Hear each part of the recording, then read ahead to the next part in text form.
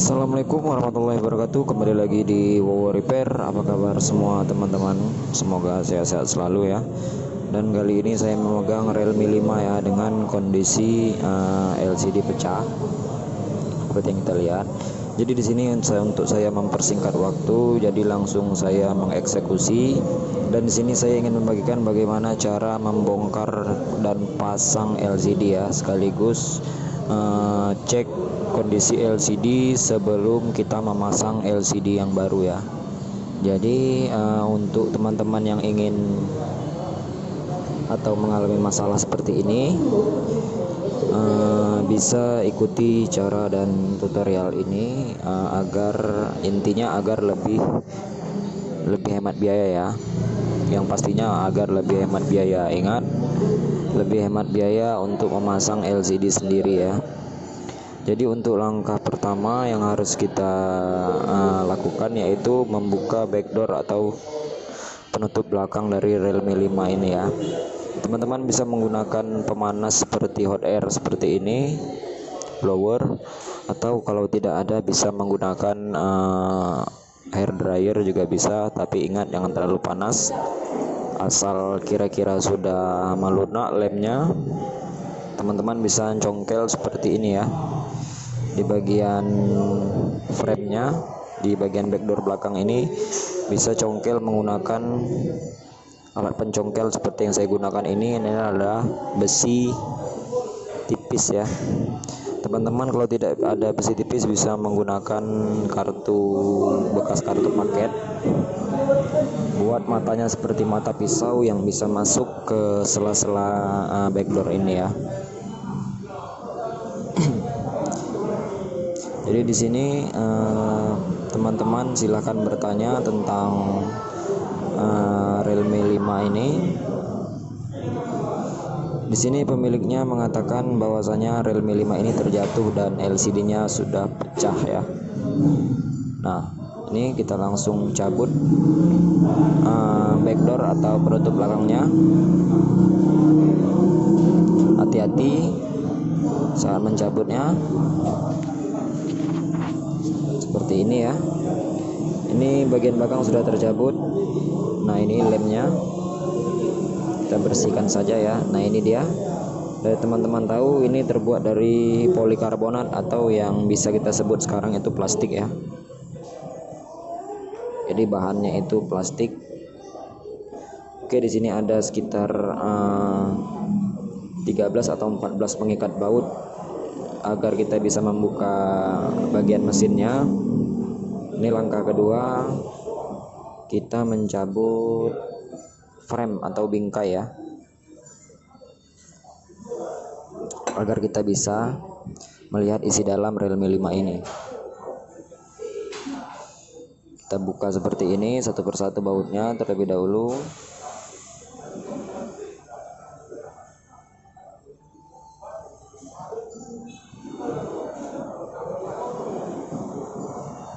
jadi teman-teman apabila mengalami masalah yang sama bisa uh, ikuti cara ini dan komentar saja apabila ingin bertanya ya. Kita lihat nanti kondisi mesin dan isi dalam dari Realme ini. Oke ini dia LCD yang pecah. Kita langsung congkel framenya ya. Ini adalah bingkai atau bagian penutup mesinnya.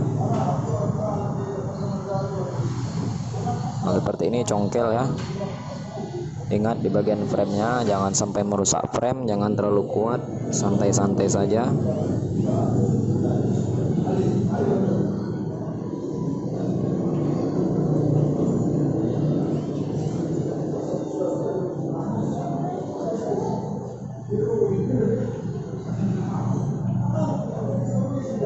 seperti ini. Nah ini kondisi dari mesinnya ya. Kita langsung ingat cabut terlebih dahulu bagian baterai ya soket baterai agar tidak terjadi korslet. Apabila kita membuka atau tersentuh-sentuh mesin menggunakan pinset nanti.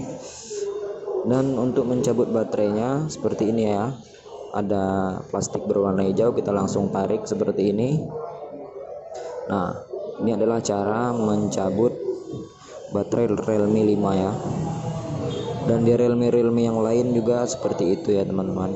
Karena ada plastik untuk pencabut baterainya. Dan ini yang ingin kita tutorialkan tadi ini adalah soket atau fleksibel dari LCD nya oke. Kita tunggu sebentar. Nah ini yang tadi di sini kita bisa langsung uh, eksekusi saja ya. Untuk LCD yang lama ini kita akan mencabutnya menggunakan pemanas juga atau blower. Dan ini LCD yang baru ya. Jadi di sini tutorialnya apabila teman-teman ingin mengganti uh, eh, LCD lama ke LCD yang baru jangan langsung pasang ya sebelum kita mencobanya. Ini banyak terjadi setelah dipasang kondisi LCD tidak baik. Jadi lebih baik kita akan mencobanya atau mengujinya terlebih dahulu tanpa merusak segel ya. Apabila eh, LCD ini tidak baik jadi kita bisa mengembalikan ke tempat kita di mana membeli ya. Karena ada garansinya apabila LCD tidak layak digunakan ya asal jangan LCD eh, eh, maaf. Asal jangan segelnya rusak ya.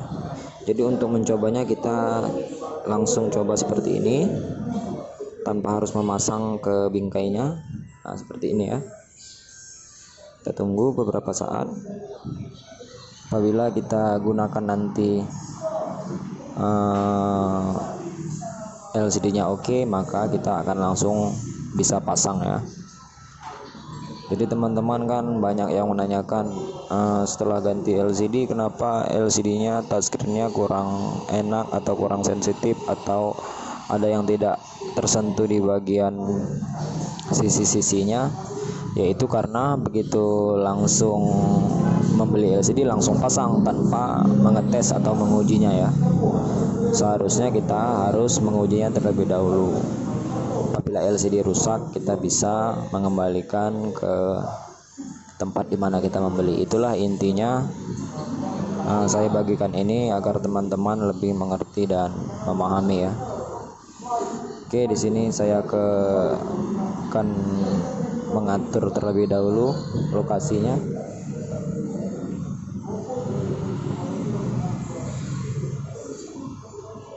Ini masih di reset ulang ya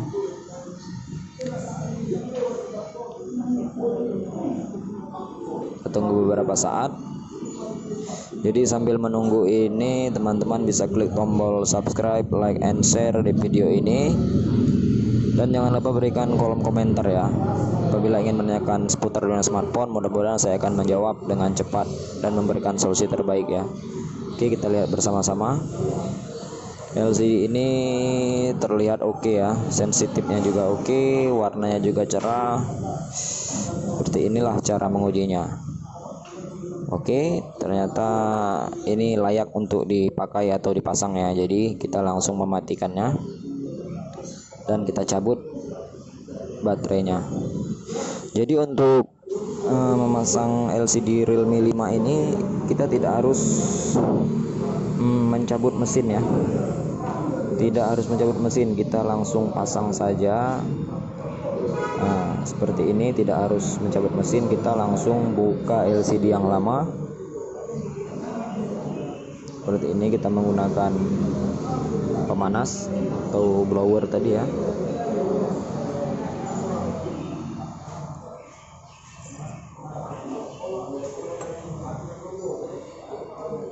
Kita panaskan pelan-pelan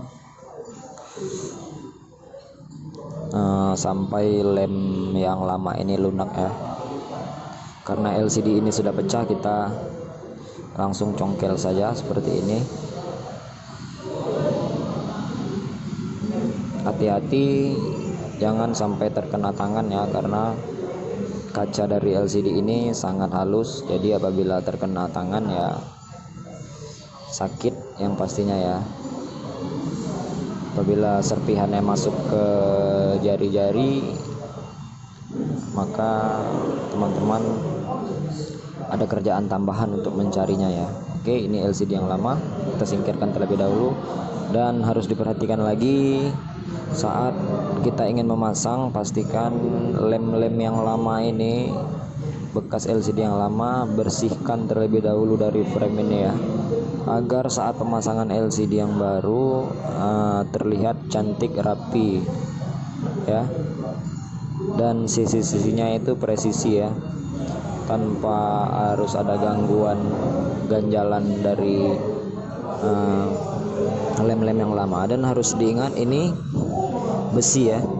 Besi untuk penyaring suara speaker ini atau kalau dari bahasa yang sehari-hari kita gunakan ini kain kasa ya. Tapi ini kain kasanya terbuat seperti dari besi atau kaleng ya. Ini jangan sampai terlupakan. Kita cabut dari LCD yang lama lalu kita tempelkan di atas kamera ini ya.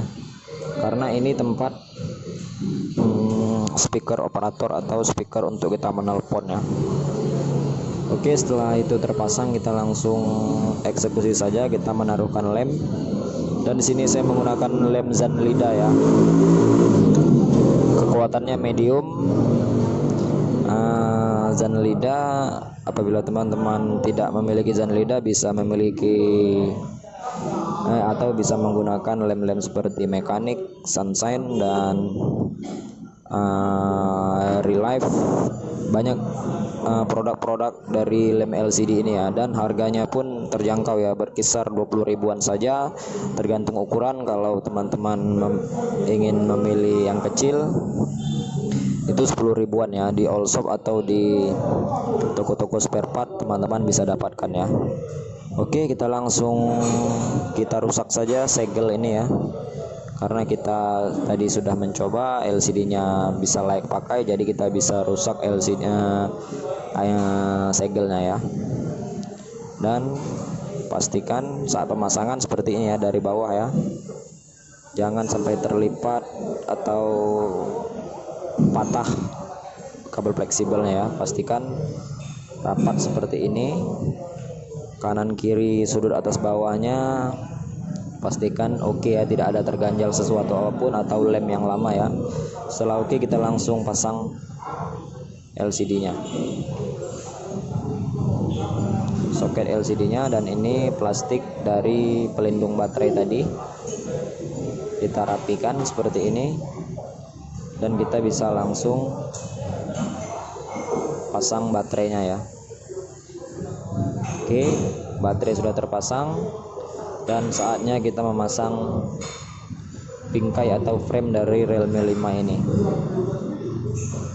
Langsung pasang seperti ini ya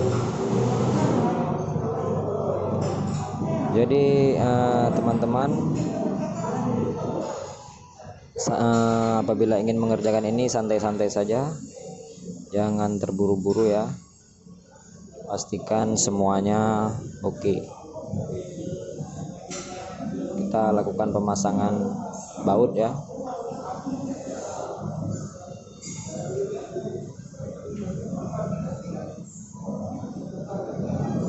kita pasang bautnya terlebih dahulu. Setelah itu kita bisa pasang backdoor atau tutup belakang dari Realme 5 ini. Inilah tutorial uh, cara mengganti LCD yang cepat dan mudah dan sekaligus uh, video ini ingin teman-teman itu bisa melakukannya di rumah dengan cara seperti ini ya. Cukup mudah dan aman dilakukan. Yang pastinya lebih hemat biaya ya. Hanya membeli LCD saja itu berkisar 200 ribuan ya untuk Realme 5 ini. Jadi apabila teman-teman mengganti ke tempat servis itu ya sudah pasti lebih dari itu karena teman-teman harus membayar ongkos bongkar dan pasang dari tukang servis itu sendiri ya oke kita menaruhkan lem ini.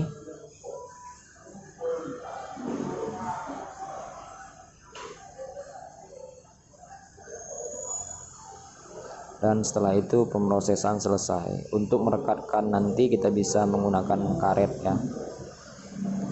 Oke sekian dari saya. Salam wowo repair ya